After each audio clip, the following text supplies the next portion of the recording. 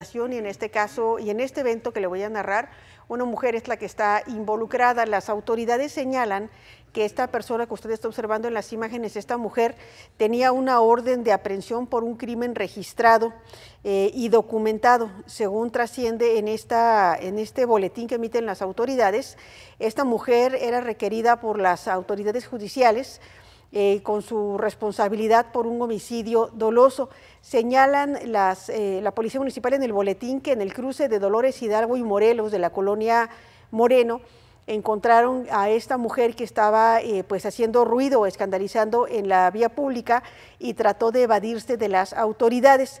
Al hacer una investigación señalan que la estaban buscando, bueno, eso de estarla buscando la fiscalía es muy relativo libraron una orden de aprehensión por un hecho registrado el 18 de enero del año pasado en la colonia, en la ciudad de Reynosa, en Tamaulipas.